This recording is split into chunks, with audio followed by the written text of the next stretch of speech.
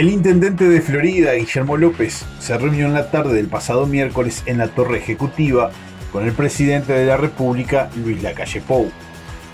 Entre otros temas abordados, el principal foco del encuentro apuntó a los actos patrióticos del próximo 25 de agosto, atentos a la situación sanitaria que vive nuestro país.